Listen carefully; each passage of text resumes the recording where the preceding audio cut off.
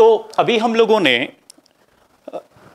Alimentary canal का जो opening structure है, यानी हम जानते हैं कि mouth is a first part of the elementary canal और हमने अभी ये पढ़ा कि जो माउथ है that is consisting of the lips teeth and tongue और टंग के बारे में भी हम लोगों ने समझा कि किस तरीके से जो टंग है, वो उसका जो मेन जो फ़ंक्शन है, वो क्या है? यदि हम फिजियोलॉजी पॉइंट ऑफ़ व्यू से बात करें तो टंग का मेन फ़ंक्शन है टेस्ट को परसीव करना टेस्ट को रिसीव करना। और हमने ये भी समझा कि किस तरीके से जो टंग होती है, टंग के अंडरलाइन में जो है न्यूरॉन्स होते हैं डिफरेंट सेट ऑफ़ न्यूरॉन्स होते हैं और इन डिफरेंट सेट ऑफ़ न्यूरॉन्स को ही हम लोग टेस्ट बर्ड्स कहते हैं और जिस भी टेस्ट जो भी फ़ूड हम लोग खाते हैं उसका टेस्ट को रिसीव करके उसे ब्रेन तक पहुँचाने का काम टंग ही करती है, यानी टंग के जो न्यूरॉन है, वही करते हैं। तो इस तरीके से अभी हम लोगों ने जो है टंग के बारे में पढ़ा। अब टंग के बाद में जो नेक्स्ट जो सबसे इंपॉर्टेंट जो स्ट्रक्चर एलिमेंट्री केनाल या जो बकल केविटी है, उसका जो होता है, वो होता है टूथ या टिथ है ना? टिथ हम सभी जानते हैं कि टिथ बहुत इंपॉर्टेंट रोल प्ले करते हैं। क्योंकि जो टिथ है, टिथ का जो मेन फ़ंक्शन है, वो है मेस्टिगेशन मेस्टिगेशन मेस्टिगेशन मीन टू से कि to chew the food to chew the food और चिविंग क्यों ज़रूरी है? Chewing is what it is a process it is a kind of the process in which we reduce we reduce or break down we reduce or break down large food particles into a small one so that to chew mean to say to reduce or break down the large food particle into the small particles so that so that those particles can be what swallow उन particles को हम लोग निगल सके और वो oesophagus से कहाँ पहुँच सके? स्टमक तक पहुँच सके। क्योंकि यदि फ़ूड पार्टिकल का साइज़ यदि बड़ा रहेगा तो उसे निगलना मुश्किल होगा और निगलने में या स्वालो करने में भी प्रॉब्लम हो सकती है। तो ये मेन रोल है किसका? टिथ का। तो आइए अब हम लोग टिथ टिथ के स्ट्रक्चर और उनके वेरियस टाइप्स के बारे में अब हम लोग आगे पढ़ने की कोशिश करते हैं। सो टिथ टिथ के बारे में जो सबसे मेन हम यदि हम ह्यूमन टिथ के बारे में बात करते हैं तो ह्यूमन टिथ के बारे में सबसे इंपॉर्टेंट चीज़ ये होती है कि वी ह्यूमन आर ह्यूमन जो है ह्यूमन जो टिथ होते हैं, उसे हम कहते हैं heterodont we call it a heterodont okay जो हम ह्यूमन है we human are the heterodont hetero mean hetero mean different और we can say the various kind of various kind of और dont mean teeth dont mean teeth कहने का मतलब यहाँ पर यह है कि जो हम ह्यूमन हैं, हम ह्यूमन हेट्रोडोंट होते हैं। यदि मैं आपसे कहूँ कि आप अपने माउथ को बंद करके या माउथ को ओपन करके भी यदि आप अपनी टंग की हेल्प से जितने भी आपके टीथ है है ना? बैक साइड से लेके फ्रंट और फिर बैक साइड में अपर और लोअर जितने भी टीथ है, उन सब के स्ट्रक्चर को अपने टंग से टच करने की कोशिश करो। या यदि आपके सामने यदि मिरर है तो उस मिरर में इस, इन टीथ को देखने की कोशिश करो। तो जब आप इन टीथ को उस मिरर में देखोगे या अपनी टंग से उनको यदि आप टच करके, महसूस करने की कोशिश करोगे तो आपको पता चलेगा कि हमारे माउथ में जो टिथ है, वो अलग अलग टाइप्स के हैं। तो इस तरीके से हम ह्यूमन के माउथ में जो टिथ होते हैं, वो वेरियस काइंड के होते हैं अलग अलग टाइप्स के होते हैं। That's why we human are called heterodont है ना? और हाइड्रोडोंट के बाद में, अब यदि मैं आपसे एक और चीज़ कहूँ कि आप कोशिश कीजिए अपने टंग की हेल्प से या मिरर में देखकर कि कितने डिफरेंट टाइप के टिथ आपको महसूस होते हैं या कितने वैरायटी के जो टिथ है, आप उसे आइडेंटिफाई कर पाते हैं। तो यदि आप केयरफुली यदि आप देखेंगे तो आपको पता चलेगा कि हम ह्यूमन के जो जॉ है या हम ह्यूमन की जो बकल केविटी है, उसमें फोर टाइप्स के टिथ होते हैं। इसमें क्या होते हैं? इसमें फोर टाइप्स के टिथ होते हैं।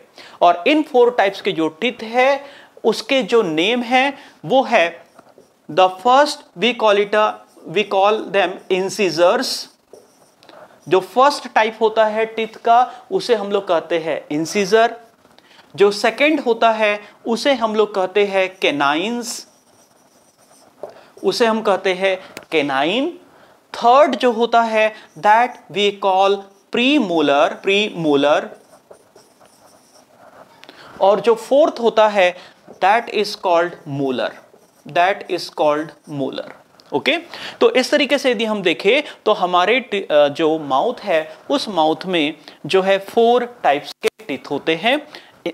First incisors second canines third premolar और फोर्थ क्या हो गए? मोलर हो गए। तो अब आइए हम लोग आगे बढ़ते हैं और समझते हैं कि इंसिजर्स कौन से टीथ होते हैं, इनका जो शेप होता है, वो कैसा होता है और इनके फ़ंक्शंस क्या होते हैं। कैनाइंस कितने होते हैं, इनका शेप कैसा होता है और इनका फ़ंक्शन क्या होता है।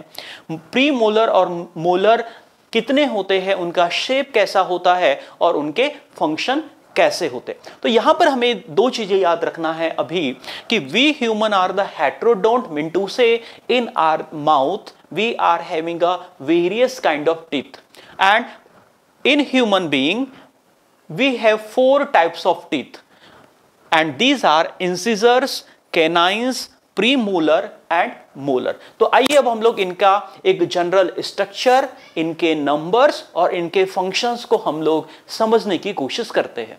सो so, अभी हम लोगों ने टाइप्स ऑफ़ टीथ देखा। Now we see the shape numbers and the function of each and every kind of teeth तो जब भी हम लोग टीथ की स्टडी करते हैं तो टीथ की स्टडी हम लोग जॉ के सेट में करते हैं, है ना?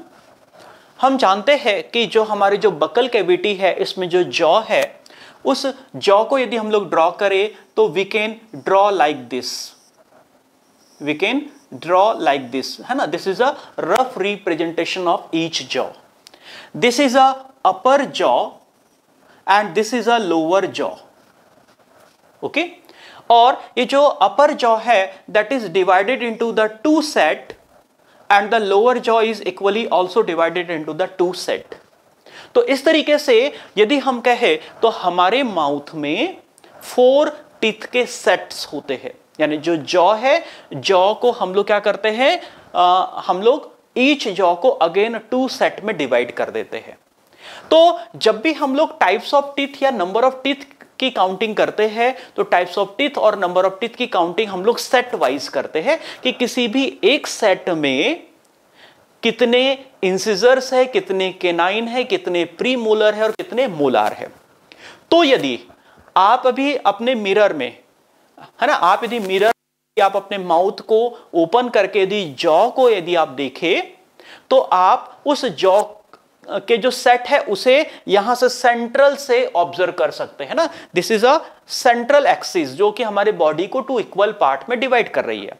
तो यदि अपने माउथ को ओपन करके जब आप यहाँ से इस सेंट्रल पार्ट से डिवाइड करोगे तो इधर का ऊपर वाला जो पूरा होगा, वो अपर जॉ वन सेट होगा, इधर वाला second set of upper jaw होगा, यहाँ वाला लोअर जॉ सेट होगा, यहाँ वाला जो है लोअर जॉ लेफ़्ट साइड वाला सेट होगा। तो इस सेट में कितने टिथ है और आ, उनके नंबर्स और शेप क्या है उसकी स्टडी अब हम लोग करने जा रहे हैं। तो इस तरीके से यदि हम लोग जब भी किसी भी जॉ में सेट में टोटल नंबर ऑफ़ टिथ और उनकी वैरायटी की यदि हम लोग बात करते हैं तो उसी के बेसिस पर हम लोग कहते हैं कि हमारे माउथ में जो है फोर टाइप्स के टिथ होते हैं। तो यदि हम सबसे पहले यदि बात करें तो सबसे पहले जो टीथ होते हैं, उन्हें हम कहते हैं we call them incisors what we call them we call them incisors in incisors का यदि आप जनरल स्ट्रक्चर देखेंगे तो इनका जनरल स्ट्रक्चर कुछ इस तरीके से आपको देखने के लिए मिलेगा। है ना? ये वाला जो पार्ट है, ये अपर पार्ट इस जो कि विजिबल है, जो कि हम देख सकते हैं that upper part is called crown that is called crown और ये जो लोअर वाला जो पार्ट है, जो कि गम में इंबेडेड है, जो गम से कवर्ड रहता है, इस पार्ट को हम लोग कहते हैं root and this root is not easily visible है ना? क्योंकि ये क्या होता है? गम्स के अंदर इंबेडेड है और गम्स के अंदर भी जो जॉ की जो बोन है, उसमें क्या रहता है? ये उसमें इंबेडेड रहता है. तो इस तरीके से जो इंसिजर्स होते हैं इंसिजर्स को यदि हम देखें तो इस तरीके से हमें इंसिजर्स देखने के लिए मिलेंगे. तो अभी हम लोग की मैच्योर है या हम लोग अभी एडल्ट है तो हम एडल्ट में जो इंसिजर्स होते हैं, इन इंसिजर्स के नंबर टू होते हैं, है ना? एक सिंगल सेट में, यानी अपर जॉ का एक सेट या लोअर जॉ के एक सेट में इनके जो नंबर होते हैं, वो टू होते हैं। तो अभी हम नंबर पे ध्यान ना देकर, क्योंकि हम इसके थोड़ी देर के बाद में टूथ फार्मूला या टिथ फार्मूला पढ़ने वाले हैं। तो इसीलिए हम लोग वहाँ पर क्या करेंगे? वहाँ पर जो है इनके नंबर्स के बारे में बात करेंगे। तो यहाँ पे इंसिजर जो है इंसिजर देखने में यदि हम सामने से इनका शेप देखें तो ये फ्लैट होते ऑलमोस्ट फ्लैट टाइप के होते हैं। और इनका जो मेन काम क्या होता है? इनका मेन काम होता है बाइट करना, है ना? बाइटिंग इनका मेन काम क्या होता? है बाइट करना। यदि मैं आपसे कहूँ कि आप एक एप्पल खाइए या अमरूद खाइए या यदि आपके पास में गवावा या मैंगो यदि आप खाइए तो सबसे पहले हम मैंगो या एप्पल को अपने जो पीछे वाले जो दूसरे दांत है, उनकी हेल्प से नहीं तोड़ते। उसको हम कहाँ से बाइट करते हैं? उन्हें हम लोग फ्रंट टीथ से बाइट करते हैं। और जो फ्रंट टीथ जो है, उनमें से सबसे मेजर बाइटिंग में जो रोल प्ले करते हैं, वो होते हैं क्या? इंसीजर्स है ना? तो इंसीजर्स का यदि हम फ़ंक्शन देखें तो इनका मेन रोल क्या है? इनका रोल है बाइट करना, है ना? Their main role to bite what food है ना? जो भी फ़ूड है, उसको क्या करना हमें बाइट करना है। तो उस बाइट करने के लिए हम इंसीजर्स की हेल्प लेते हैं। इसके बाद में जो सेकेंड टाइप के जो टीथ है that second type of teeth we call them what we call them canines what we call them we call them canines है ना? अब ये केनाइन जो है, इन केनाइन को बड़े आसानी से आप पहचान सकते हो, है ना? आपने यदि कोई भी ड्रेकुला की कोई मूवी देखी है क्या? ज़रूर देखी होगी आपने ना? Dracula is a famous character है ना?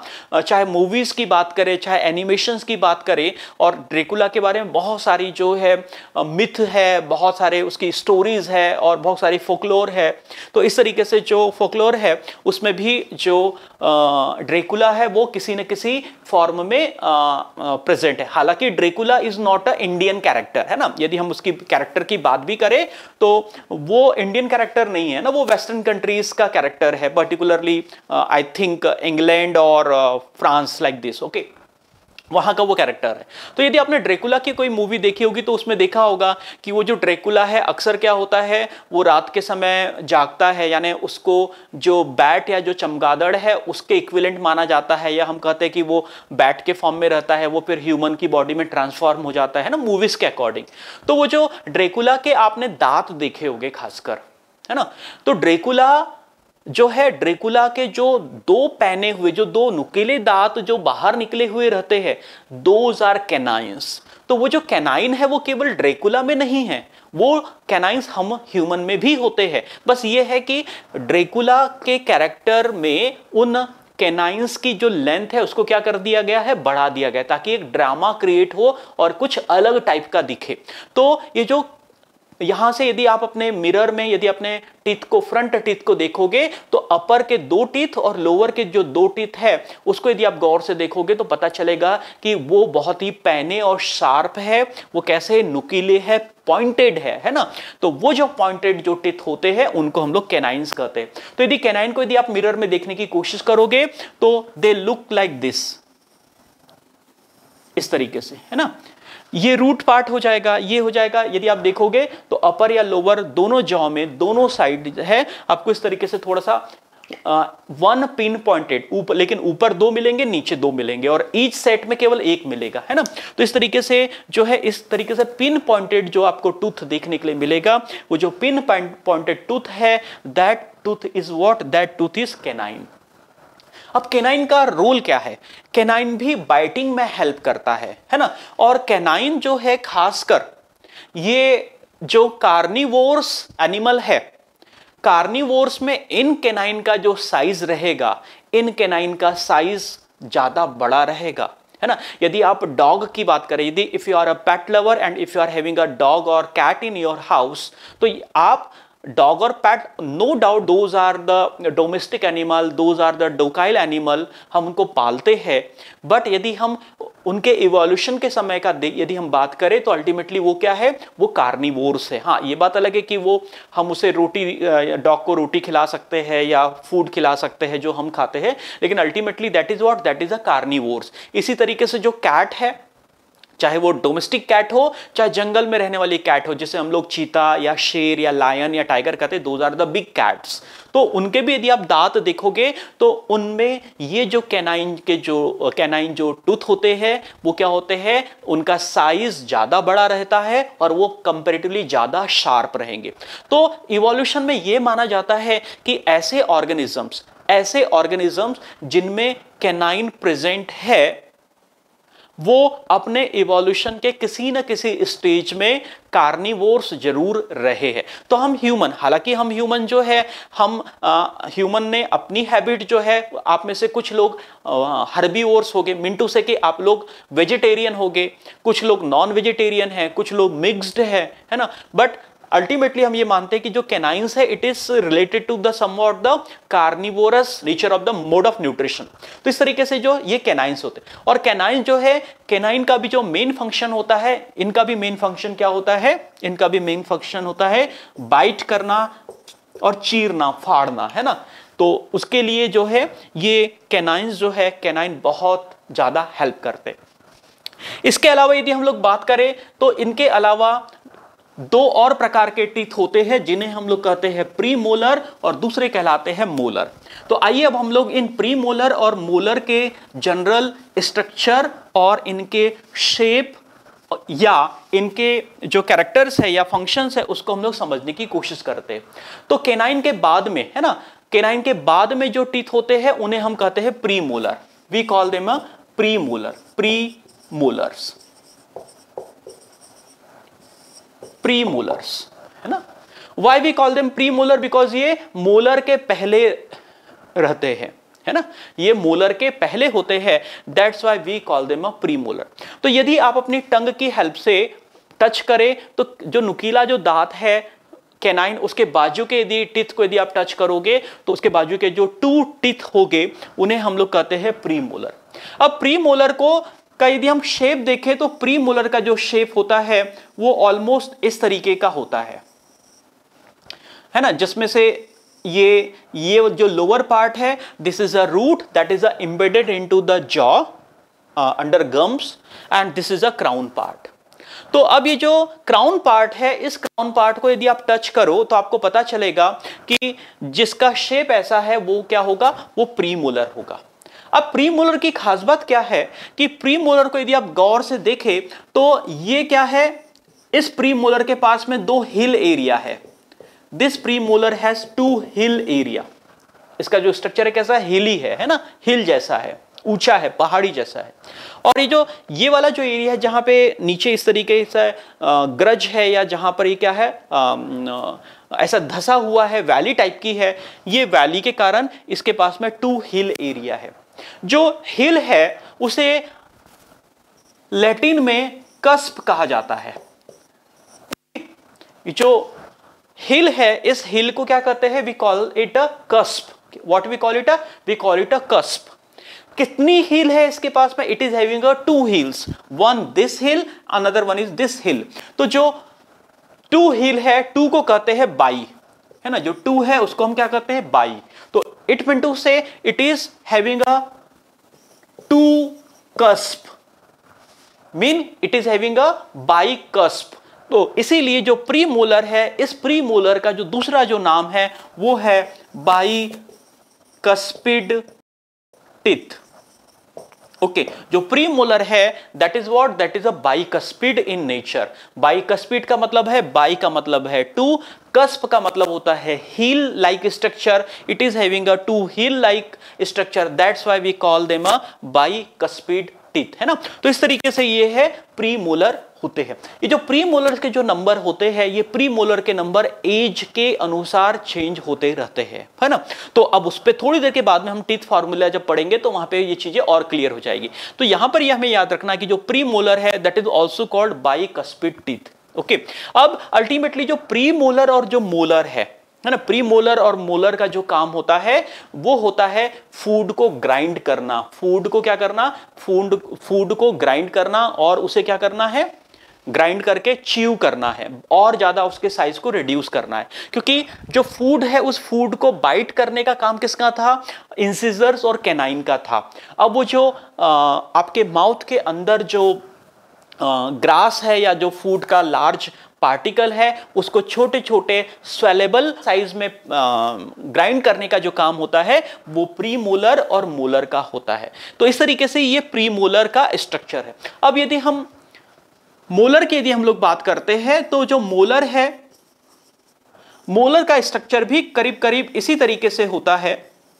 जो मोलर है, मोलर का स्ट्रक्चर भी अप्रोक्स इस तरीके से ही माना जाता है। और लेकिन जो मोलर का जो साइज़ होता है, और जो साइज़ है, यानी उसकी जो विड्थ है, वो प्री मोलर से थोड़ी सी ज़्यादा होती है। तो यदि आप अपने माउथ को ओपन करके, यदि आप अपने माउथ को ओपन करके यदि आप देखोगे है ना? मिरर से यदि देखोगे तो आपको लास्ट में, है ना, हमारे जॉ के आखिरी जो दांत है, उन्हें हम लोग प्री मोलर कहते हैं। इन प्री मोलर को हम लोग हिंदी में दाढ़ भी कहते हैं। इसे हम क्या कहते हैं? दाढ़ भी कहते हैं। और इसकी भी खास बात यह होती है कि ये जो प्री मोलर है डिफरेंट एज में, इनके नंबर्स क्या होते हैं? बदलते चले जाते हैं। उसको हम लोग टीथ फार्मूले में आगे समझेंगे।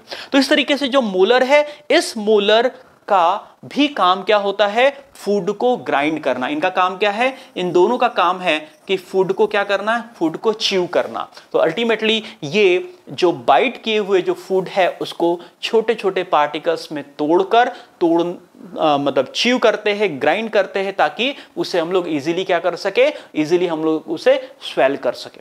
तो इस तरीके से यहाँ पर अभी हम लोगों को ये चीज़ समझ में आने लगी है कि जो ह्यूमन जो है, वो हेट्रोडोंट है. वी ह्यूमन आर हेट्रोडोंट और हेट्रोडोंट के साथ साथ हेट्रोडोंट का मतलब ये है कि हम ह्यूमन के जो माउथ है, उसमें वैरायटी के टिथ होते हैं.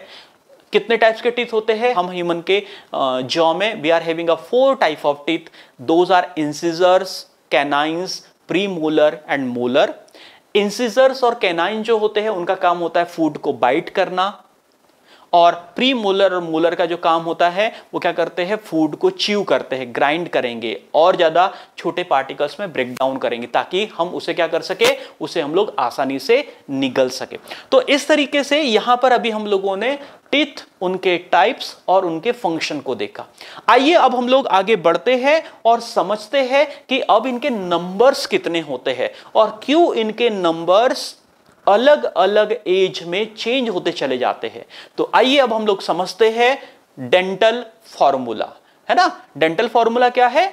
उसे आगे अब हम लोग समझने की कोशिश करेंगे कि what is a dental formula so now we study the dental formula dental formula और sometime we call it a teeth formula okay. So how we can define this one? We can define this like the total total numbers of teeth total numbers of teeth present in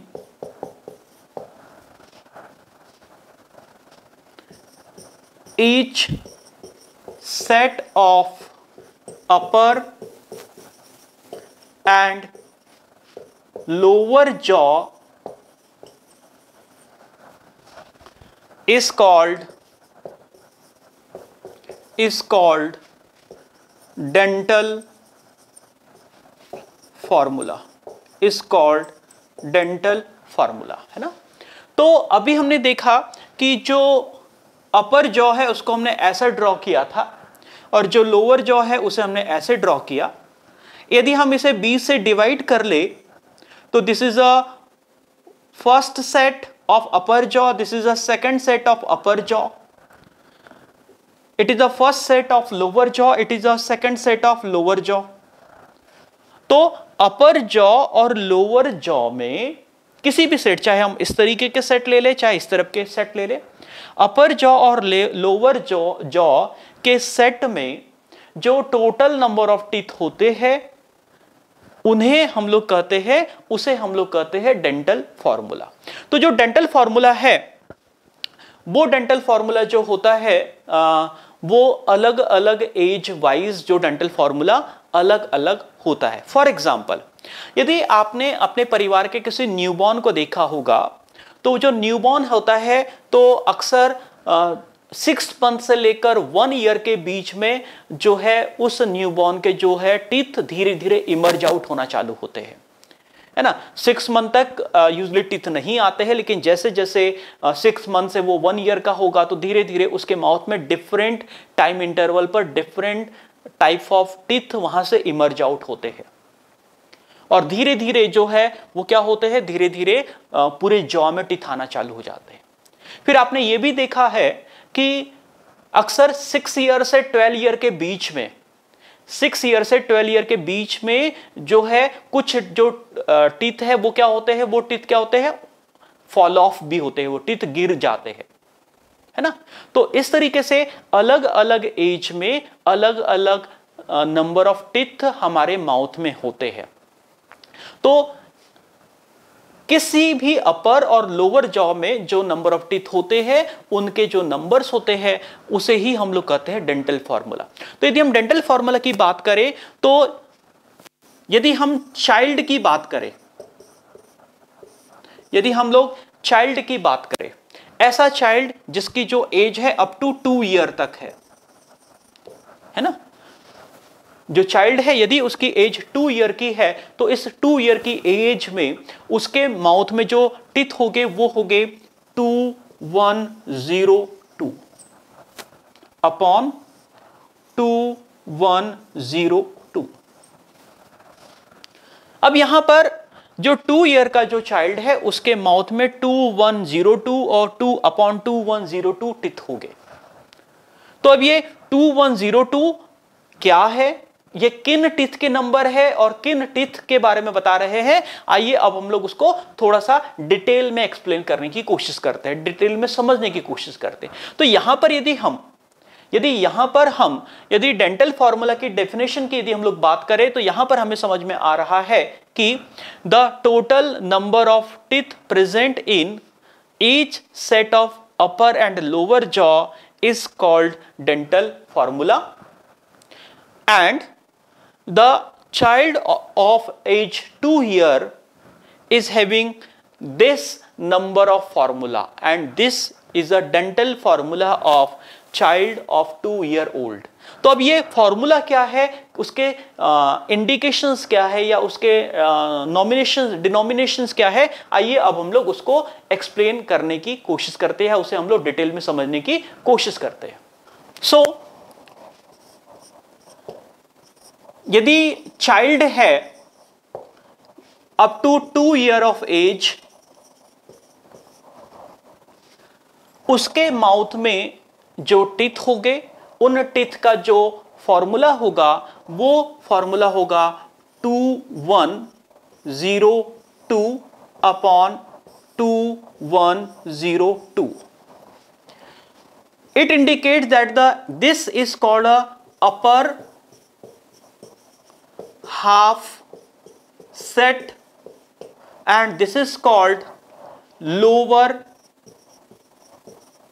half set okay this is called upper half set and this is called lower half set अब अपर half set की यदि हम लोग बात करें तो यहाँ पर जो सबसे पहला जो टीथ होता है this indicates the number of teeth and this teeth is what this is a I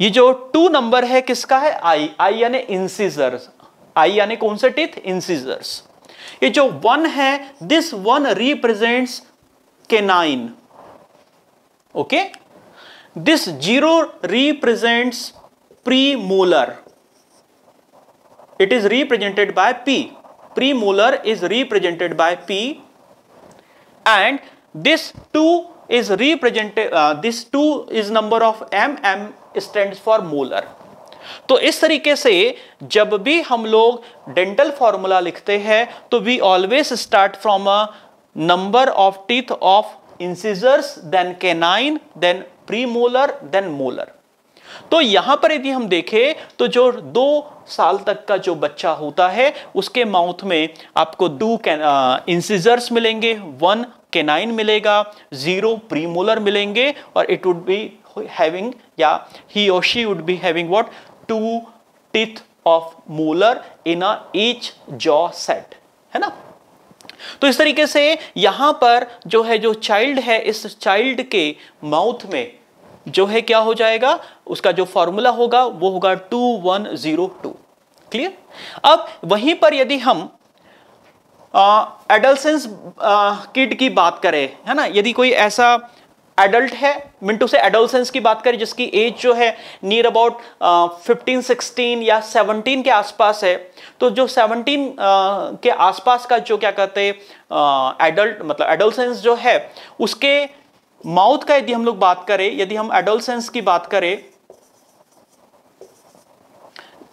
as of 17 to 20 year तक का यदि हम लोग देखें तो उसके माउथ का जो, माउथ में जो डेंटल का फॉर्मूला होगा या डेंटल सेट का जो फॉर्मूला होगा that would be two one two two upon two one two two here this two for incisors this one for canine, this two for premolar and this two for molar. Similarly, I, C, P, M.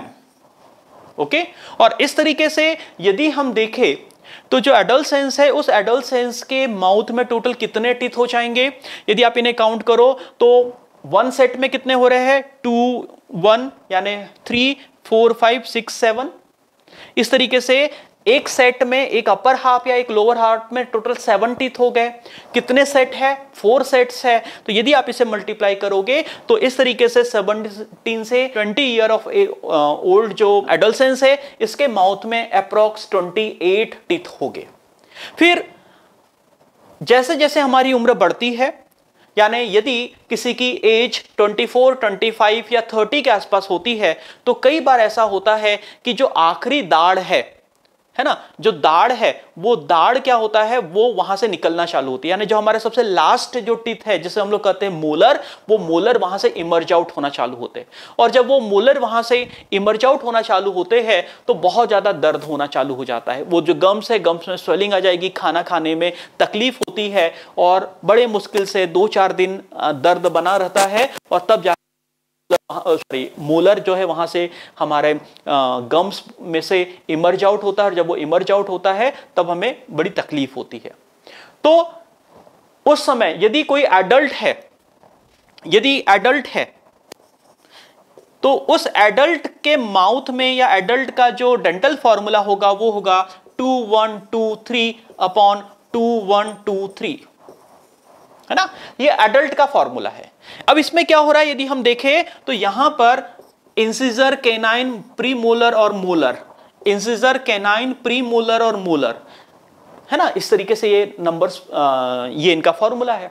तो यदि हम देखें तो जो 17 से 20 year of old का जो individual है, उसके माउथ में या उसके जॉ में के सिंगल सेट में टू मोलर्स होते हैं। लेकिन जो एडल्ट है, उसके जॉ सेट में थ्री मोलर्स हो गए और जब वो जो दाढ़ आती है तो दैट वो जो दाढ़ या वो जो दांत या वो जो टीथ जब बाहर निकलता है, उसे हम लोग कहते हैं what we call it a wisdom teeth what we call it a wisdom teeth we call them wisdom teeth और जिसे हिंदी में हम लोग कहते हैं अक्ल की दाढ़. तो आई डोंट नो कि उसको अक्ल की दाढ़ क्यों कहा जाता है, या उसका अक्ल से क्या संबंध है. Is there any correlation है या नहीं है, नहीं पता, लेकिन उसे अक्ल की दाढ़ ज़रूर कहा जाता है। तो अक्ल की दाढ़ जब आती है तो लोग शायद ये मानते होंगे कि हाँ अब आप बड़े हो गए हो, है ना? क्योंकि जो 17 18 साल 19 साल की जो उम्र होती है थोड़ी सी लड़कपन वाली उम्र कहीं ना कहीं होती है। पर जब 24 25 के जब आप हो जाते हो, जब आपकी स्टडी ऑलमोस्ट कंप्लीट हो जाती है when you start doing your job और you participate in a business तो ये माना जाता है कि हाँ अब आप में आ, सोचने समझने की क्षमता या अपने डिसीज़न खुद लेने की क्षमता आ गई। शायद इसीलिए उसको अक्लदाड़ कहा जाता होगा है ना? तो इस तरीके से जो ये है डेंटल फॉर्मूला है हम ह्यूमन का। तो इस तरीके से ये ह्यूमन का डेंटल फॉर्मूला है। तो इसमें हमें याद रखना है कि अब to the age of two year की यदि हम लोग बात करें तो टू ईयर तक का जो बच्चा होता है उसमें क्या होता है? इस तरीके से जो है प्री मोलर नहीं रहेंगे। वहाँ पर जब एडल्सेंस होता है तो प्री मोलर भी आ जाता है, लेकिन जो विजडम टीथ है, वो आना बाकी रहता है। और इस तरीके से जब वो कंप्लीट एडल्ट हो जाता है तो कंप्लीट एडल्ट होने पर क्या होता है, यहाँ पर ये जो फॉर्मूला है, ये फॉर्मूला रहेगा कंप्लीट एडल्ट का। तो अभी जो बच्चे और एडल्सेंस या एडल्ट के जो डेंटल फॉर्मूला है, उसमें सबसे मेन जो डिफरेंस है, वो डिफरेंस क्या है कि इन एडल्ट्स में, चाहे हम एडल्सन्स की बात करें या एडल्ट्स की बात करें, इनका जो फॉर्मूला है, इनका जो डेंटल फॉर्मूला है, ये डेंटल फॉर्मूला कहलाता है। This dental formula is called what this dental formula is called permanent teeth formula permanent teeth formula we call it a permanent teeth formula क्यों? क्योंकि हम सभी जानते हैं कि हम ह्यूमन में जो है दो प्रकार के टीथ होते हैं। In human we are having a two type of teeth है ना? हम ह्यूमन में टू टाइप्स के टीथ होते हैं। जो पहला जो टीथ कहलाता है, वो कहलाता है डेसिडिवस या टेम्परेरली या जिसे हम लोग कहते हैं दूध के दांत या मिल्क टीथ कहते हैं, है ना? जब आप भी छोटे रहे होगे, यदि आपने देखा होगा कि जब आपकी उम्र 6 से 12 ईयर के बीच में या 6 टू 12 ईयर के बीच में जब रही होगी, तब आपने ध्यान दिया होगा कि डिफरेंट टाइम इंटरवल पर आपके माउथ में से डिफरेंट जो टिथ है, वो धीरे धीरे क्या हो रहा है धीरे धीरे टूट कर गिर रहे हैं। और जब वो टूट कर गिरते हैं, उनके जगह नए टिथ निकल कर आते हैं। तो जो टिथ अपने आप टूट कर गिर रहे थे, उन टिथ को हम लोग कहते हैं that is called a temporary teeth temporary teeth, या जिसे हम लोग कहते हैं मिल्क टीथ, या जिसे हम लोग डेसिडिवस टीथ भी कहते हैं, है ना? ये टेम्परेरी टीथ कहलाते हैं।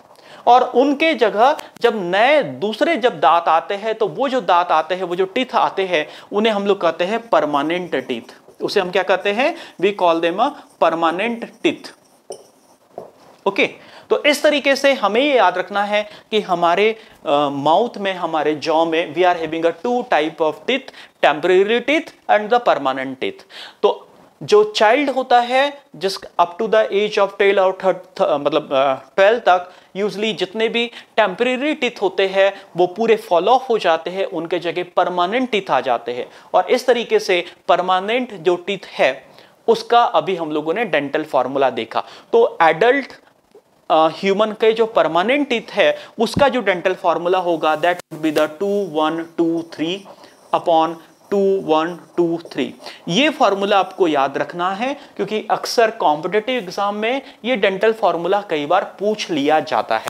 तो यहाँ पर अभी हम लोगों ने समझा कि हमारे माउथ में जो है, क्या है? टिथ है।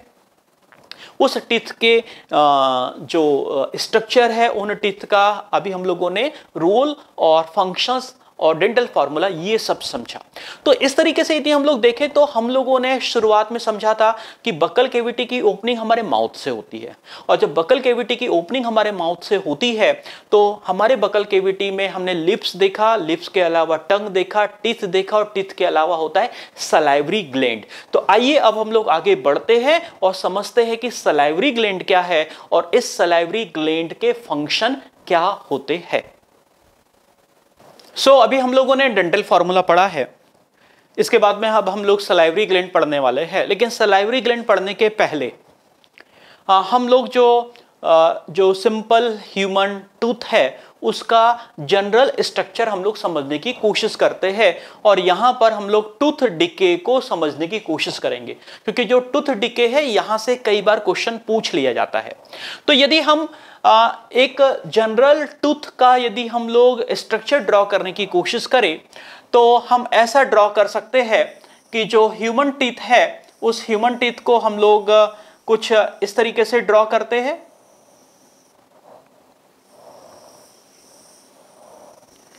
यहाँ पर जो है, हम जनरल स्ट्रक्चर को रिप्रेजेंट कर रहे हैं।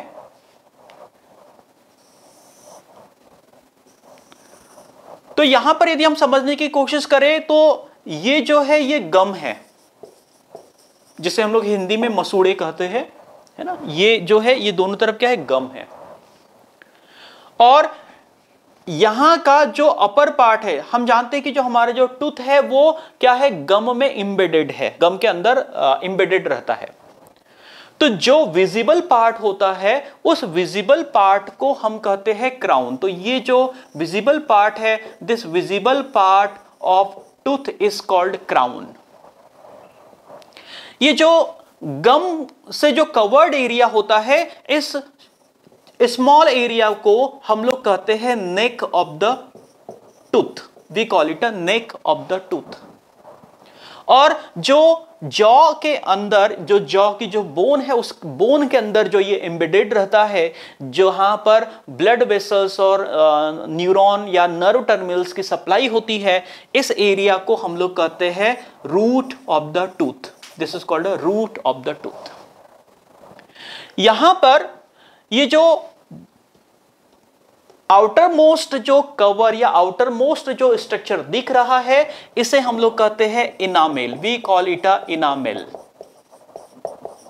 this is called enamel और इस इनामेल की सबसे खास बात यह है कि this enamel is suppose to be a hardest material in human body as well as in earth यदि हम नेचुरल हार्डेस्ट मटेरियल की बात करें तो enamel is suppose to be a hardest material ये इतना हार्ड होता है कि हम जानते हैं कि हम इंडियंस में, खासकर यदि हम इंडियंस के कई ऐसे रिलीजन की बात करें तो उसमें क्या होता है कि वहाँ पर जो डेड बॉडीज है, उनको क्रिमेट किया जाता है है ना? उनका क्रिमेशन किया जाता है, उनको जलाया जाता है, उनका दाह संस्कार किया जाता है।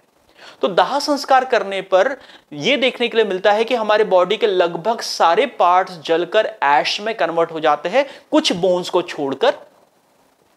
पर जो हमारे जो टिथ है या जो टूथ है, वो उस हाई टेम्परेचर पर, जो पायर की जो हाई टेम्परेचर है, उस पर भी ये नहीं जलते हैं। तो इसीलिए इन्हें हार्डेस्ट मटेरियल माना जाता है।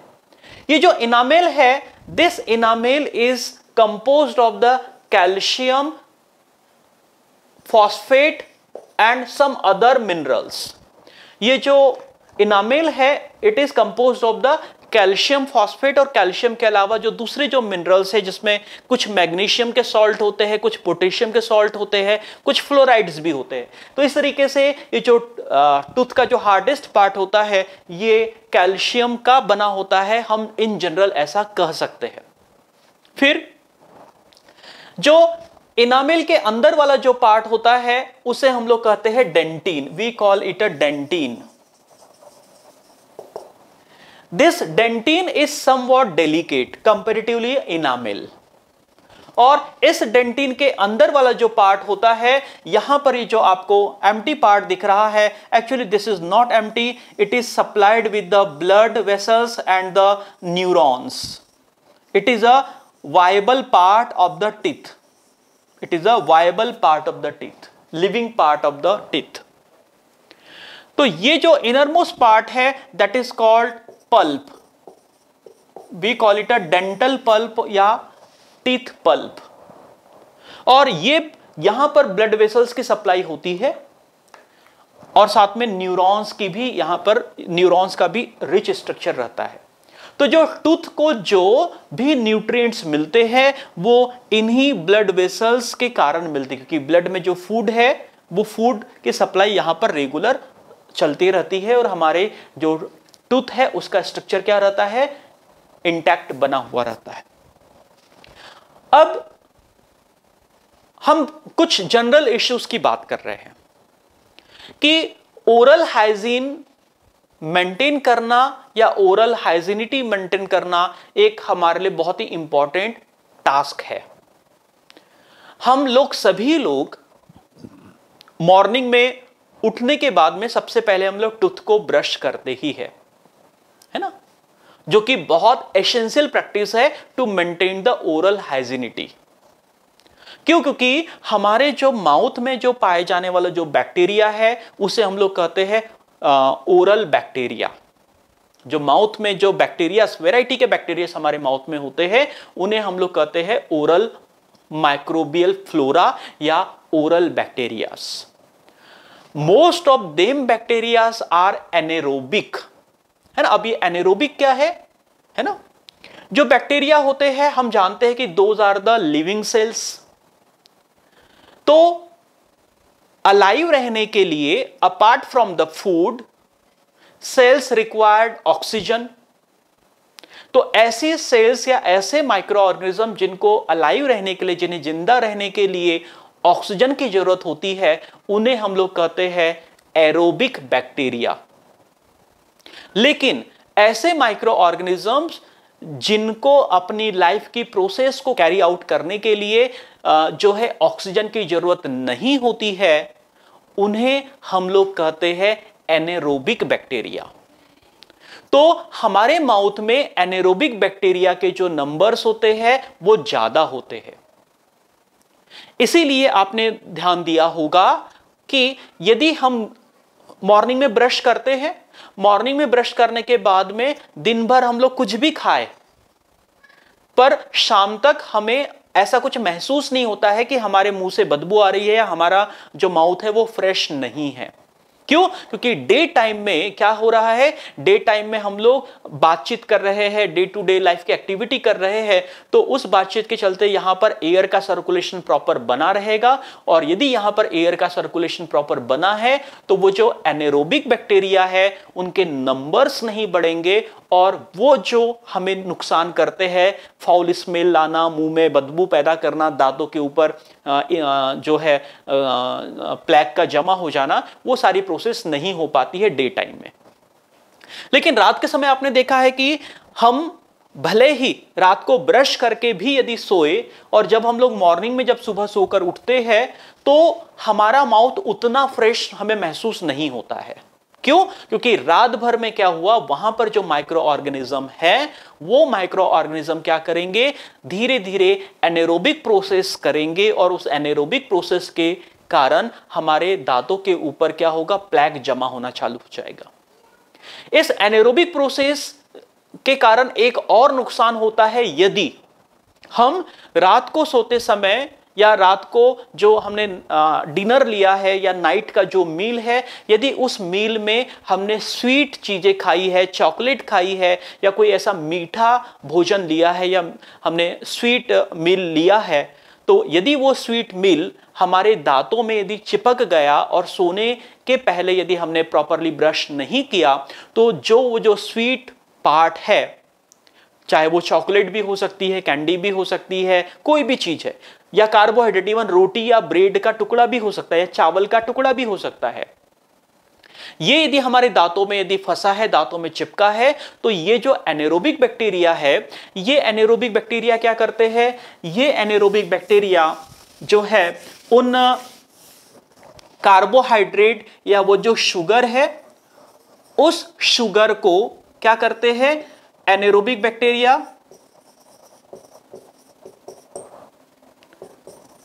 ये जो एनारोबिक बैक्टीरिया है, ये क्या करेंगे? उस शुगर को लैक्टिक एसिड में लैक्टिक एसिड में कन्वर्ट कर देंगे। और यदि शुगर एनेरोबिक बैक्टीरिया के कारण यदि लैक्टिक एसिड में कन्वर्ट हो गया तो हम जानते हैं कि जो हमारा जो टीथ है और टीथ में जो सीमेंटिंग मटेरियल होता है, ये जो सीमेंटिंग मटेरियल है, ये मोस्टली क्या है? कैल्शियम के सॉल्ट से मिलकर बने हुए हैं। और जो कैल्शियम के जो सॉल्ट होते हैं, ये कैल्शियम के सॉल्ट होते हैं बेस यानी बेसिक सब्सटेंस होते हैं। और ये जो लैक्टिक एसिड है, ये इस बेसिक सब्सटेंस के साथ में क्या करेंगे? केमिकली रिएक्शन करेंगे। और जब केमिकल रिएक्शन होगा तो धीरे धीरे ये जो इनामिल की जो प्रोटेक्टिव कवरिंग है, ये क्या हो जाएगी? ये वीक होना चालू हो जाएगी। और जब यहाँ पर ये सीमेंटिंग मटेरियल या जो इनामिल की जो कवरिंग जो कि बेस से बनी है, ये वीक होना चालू हो जाएगी, तब क्या होगा? Now bacteria get one more chance to enter into the this dentin and reach up to where reach up to this dental pulp जब यहाँ पर एसिड और एसिड और बेस के बीच में केमिकल रिएक्शन होगा तो धीरे धीरे ये जो सीमेंटिंग मटेरियल है, ये क्या हो जाएगा? ये वीक होना चालू हो जाएगा and now bacteria will get a chance to enter into this pulp और जब इस पल्प डेंटल पल्प तक जब ये पहुँच जाएगा तो क्या होगा? डेंटल पल्प पर पहुँचते से ही क्या होगा? Now bacteria has more chance to increase its number और जब इसके नंबर इंक्रीज होना चालू हो गए तो धीरे धीरे यहाँ पर जो पल्प है, वहाँ पर इन्फेक्शन होना चालू हो जाएगा, और इन्फेक्शन होने के साथ साथ वहाँ पे बहुत तेज दर्द होना चालू होगा गम्स में स्वेलिंग आना चालू हो जाएगी और धीरे धीरे जो है जो टीथ है वो अंदर से खराब होना चालू होगा और धीरे धीरे वहाँ पर जो टीथ है उसका कलर डार्क ब्राउन या ब्लैक होना चालू हो जाएगा, जिसे हम लोग कहते हैं डेंटल कैविटी तो यदि डेंटल कैविटी से यदि हमें बचना है तो हमें क्या करना होगा? ये हमें ध्यान रखना होगा कि यदि हमें डेंटल कैविटी से बचना है तो व्हाट वी शुड डू आप को मीठा खाना पसंद है, आप खूब खाइए। मीठा खाने में कहीं कोई प्रॉब्लम नहीं। But what you to do कि before going to bed you should brush your teeth with a good toothpaste और टूथ पाउडर हमें अच्छे ब्रश और अच्छे टूथपेस्ट से क्या करना है? हमें क्या करना है? हमारे जो टीथ है, उन्हें अच्छे से क्लीन करना है। बिफोर गोइंग टू बैड और एज वेल एज मॉर्निंग में भी। तो हम सभी लोग मॉर्निंग में तो करते ही है but there are only few people जो कि रात में सोने के पहले ब्रश करते हैं। तो यदि आप अपने गम्स को, अपने टीथ को हेल्दी रखना चाहते हैं तो what you should do you should never forget to brush your teeth before going to bed तो इस तरीके से यहाँ पर अभी हम लोगों ने जो ह्यूमन टूथ है, इस टूथ का जनरल स्ट्रक्चर हम लोगों ने समझने की कोशिश की और हम लोगों ने यहाँ पर जो डेंटल कैविटी है, उस डेंटल कैविटी को समझने की कोशिश की। जब हम लोग इसके क्वेश्चन आंसर करेंगे तो वहाँ पर हम लोग इसका आंसर भी लिखेंगे। कि what is a dental cavity और किस तरीके से होता। तो यहाँ पर मुझे उम्मीद है कि जो हमने अभी यहाँ समझा है, वो आपको अच्छे से समझ में आ गया होगा। तो ये टीथ का जनरल स्ट्रक्चर था। आइए अब हम लोग आगे बढ़ते हैं और समझते हैं कि सलाइवरी ग्लैंड क्या है, कितने होते हैं, उनके नंबर्स क्या है और उन सलाइवरी ग्लैंड के क्या फ़ंक्शन होते हैं। So now we study the salivary gland, है ना? यदि हम सलाइवरी ग्लैंड की यदि हम लोग बात करें तो we can say the gland that secretes saliva is called salivary gland. यदि हम अपने बकल कैविटी की बात करें तो in buccal cavity there are there are three pairs of saliva gland okay और इनके जो नाम है that is the first pair is called sublingual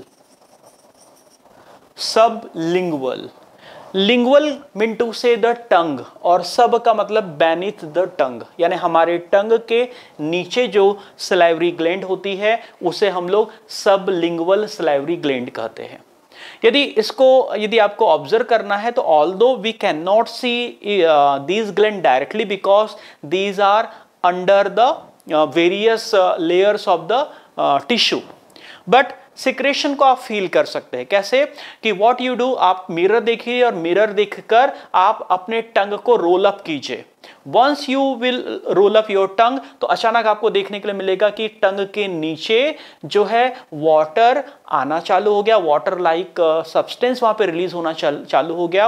और कई बार यदि आप टंग को रोल करोगे तो ये भी हो सकता है कि वहाँ से एक पिचकारी जैसा एक स्मॉल फाउंटेन जैसा लिक्विड बाहर निकलेगा।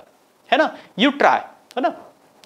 तो वो जो लिक्विड वहाँ से इमर्ज आउट या लिक्विड वहाँ से रिलीज़ हो रहा है that liquid is emerge by the sublingual salivary gland तो there are three pairs of the saliva gland या salivary gland the first is called sublingual salivary gland second is called submandibular submandibular gland submandibular mandibles these are the lower jaw है ना? जो lower jaw है, इसकी bones को mandibular bones कहते हैं। और जो इनर साइड में लोअर जॉ के पास में दोनों साइड यानी लेफ़्ट और राइट साइड दोनों साइड ग्लैंड जो होती, जो स्लाइवरी ग्लैंड होती है, उसे हम लोग सब मैंडिबुलर ग्लैंड कहते हैं। है ना? तो इस तरीके से ये भी सलाइवा रिलीज़ करती है। जो थर्ड है that is called parotid gland parotid gland ये जो पैरोटिड ग्लैंड है ये पैरोटिड ग्लैंड यदि हम यहाँ देखें तो अप्रोक्स यहाँ पर है ना? दोनों कानों के आ, नीचे फ्रंट साइड नीचे की तरफ़ यहाँ पर इंटरनली यहाँ पे लोकेट रहती है। उसे हम लोग कहते हैं पैरोटिड ग्लैंड तो इस तरीके से हमारे पास में we are having what we are having a three pairs of the salivary gland sublingual mean the beneath the tongue sub submandibular inside the lower jaw parotid mean the beneath और under the both here है ना? तो इस तरीके से ये तीनों जो ग्लैंड होती है, ये तीनों ग्लैंड सलाइवरी ग्लैंड कहलाती है। अभी जो सलाइवरी ग्लैंड जो है अल्टीमेटली इनका काम क्या है? इनका काम है सलाइवा रिलीज़ करना। What is their function their function is to release saliva तो आइए अब हम लोग आगे बढ़ते हैं और समझने की कोशिश करेंगे कि what is saliva what is the composition of the saliva, and what is the role of saliva now we see the composition and the role of saliva तो यदि हम कंपोजिशन और रोल ऑफ़ सलाइवा की यदि हम लोग बात करें तो सलाइवा का यदि हम कंपोजिशन देखें तो हम लिख सकते हैं कि approx 99 percent of saliva is water the 99 percent of saliva जो है, वो क्या होता है? वो वाटर ही होता है।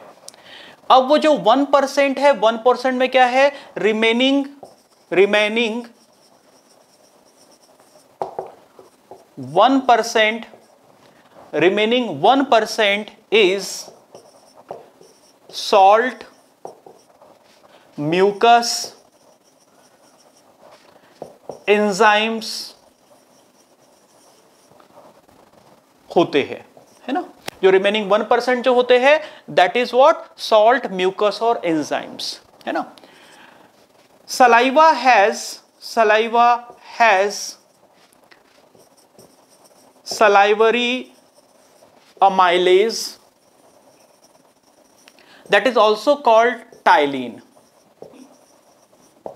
okay saliva has salivary amylase that is a, uh, also called ptyalin is a digestive is a digestive enzyme okay okay, ये क्या है एक प्रकार का डाइजेस्टिव एंजाइम है अब अप्रॉक्स यदि हम देखें तो डेली है ना? अप्रॉक्स हमारे माउथ में अप्रॉक्स वन से 1.5 लीटर जो सलाइवा है, ये रोज रिलीज़ होता है। तो हमारे माउथ में approx one two one point five litre जो सलाइवा है, वो क्या होता है? रोज रिलीज़ होता है, यानी रोज बनता है और रिलीज़ होता है। इसके अलावा हमें ये याद रखना है कि saliva is saliva is slightly acidic जो सलाइवा है that is what that is a slightly acidic और इसका जो पीएच होता है सलाइवा का जो पीएच होता है दिस इज़ 6.8 पीएच तो ये हमें याद रखना because in many competitive exam in many competitive exam ये अक्सर पूछा जाता है कि सलाइवा क्या है या what is a P H of the saliva तो इस तरीके से यहाँ पर अभी हम लोगों ने सलाइवा के बारे में कुछ आ, इसके कंपोजिशन के बारे में समझा। आइए अब हम लोग आगे बढ़ते हैं और देखते हैं कि what is a function mean role of saliva तो यहाँ पे रोल ऑफ़ सलाइवा में यहाँ पे हमने अभी कंपोजिशन देखा। Now we further move on to study the various role of saliva now we see different role और फ़ंक्शन ऑफ़ सलाइवा रोल और फ़ंक्शन ऑफ़ सलाइवा तो यदि हम रोल या फ़ंक्शन ऑफ़ सलाइवा की यदि हम लोग बात करें तो हम लोग कह सकते हैं कि it facilitate it facilitate speaking and swallowing of food.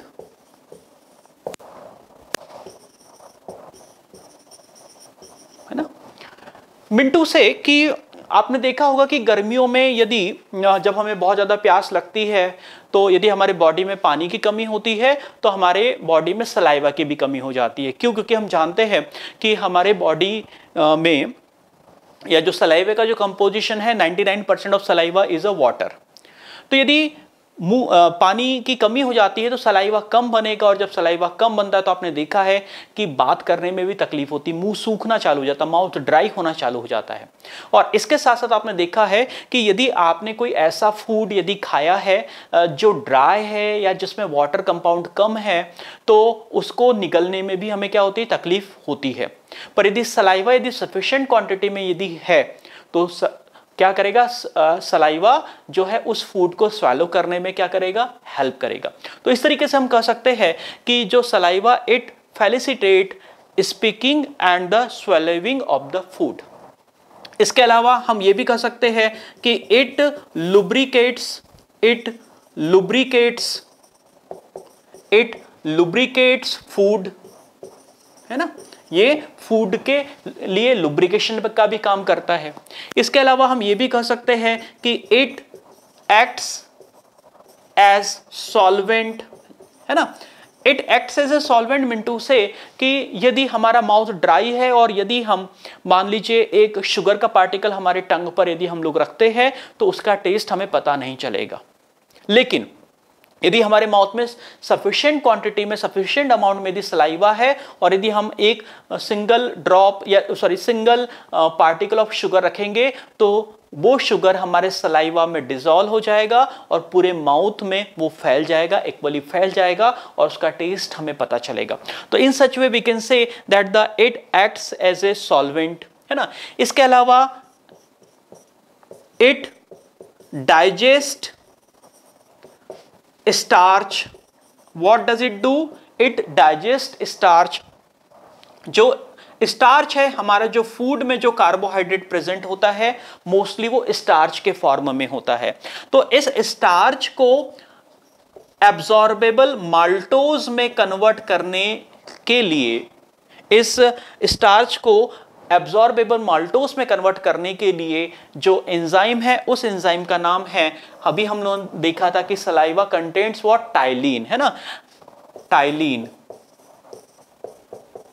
okay saliva contents what ptyalin तो ये जो टाइलिन है this ptyalin convert starch into absorbable maltose तो इस तरीके से टाइलिन यानी जिसको हम लोग सलाइवरी अमाइलेस कहते हैं it helps in a digestion of what it helps in a digestion of carbohydrate इसके अलावा यदि, और यदि हम लोग इसके फ़ंक्शंस की यदि हम लोग बात करें तो we can write that it cleans mouth it cleans mouth का मतलब है यहाँ पर कि वी नो कि हमारे माउथ में क्या है? बैक्टीरियाज होते हैं। है ना? रेगुलरली हमारे माउथ में बैक्टीरियाज होते हैं। और ये जो बैक्टीरिया होते हैं, ये क्या होते हैं कि ये बहुत ज़्यादा अपना इफ़ेक्ट प्रोड्यूस नहीं कर पाते हैं बिकॉज़ जो हमारा जो सलाइवा है at somewhat extent it is acidic और इसमें जो कुछ इंजाइम जो होते हैं, वो उस बैक्टीरिया को क्या करते हैं डेवलप होने से रोकते हैं। तो इस तरीके से हमारे माउथ को क्या करते हैं क्लीन बनाए रखते हैं। तो इस तरीके से जो है, यहाँ पर ये कुछ बेसिक हम लोगों ने फ़ंक्शन देखे किसके सलाइवा के। तो इस तरीके से जो है सलाइवा जो है, वो एक बहुत ही इंपॉर्टेंट रोल प्ले करता है, किसमें हमारे माउथ की हाइजीनिटी को मेंटेन करने में स्पीकिंग में फ़ूड को स्वेलो करने में फ़ूड को लुब्रिकेट करने में टेस्ट के लिए भी हाँ क्योंकि आ, टेस्ट बर्ड्स तक जो भी हम खाते हैं वो सलाइवा में डिजॉल्व होकर ही पहुँचता है। तो इस तरीके से जो है सलाइवा यहाँ पर इंपॉर्टेंट रोल प्ले करता है। तो यहाँ पर अभी हम लोगों ने बकल केविटी के बारे में समझा। तो बकल केविटी में हम लोगों ने जो है टंग के बारे में पढ़ा। बकल केविटी में हम लोगों ने जो है टिथ के बारे में पढ़ा, टिथ के स्ट्रक्चर के बारे में पढ़ा। अब हम लोग इसके बाद में हमने सलाइवरी ग्लैंड और सलाइवरी ग्लैंड सलाइवा के फ़ंक्शंस के बारे में पढ़ा। तो अब आगे हम लोग बढ़ते हैं और देखते हैं एलिमेंट्री कैनाल का जो नेक्स्ट जो स्ट्रक्चर है that is a oesophagus oesophagus के बाद में हम लोग पढ़ेंगे स्टमक स्टमक के बाद में हम लोग पढ़ेंगे small intestine large intestine then about liver then pancreas और किस तरीके से डिफरेंट बॉडी पार्ट्स में जो है डाइजेशन जो एलिमेंट्री कैनाल के डिफरेंट पार्ट्स में किस तरीके से फ़ूड का डाइजेशन होता है।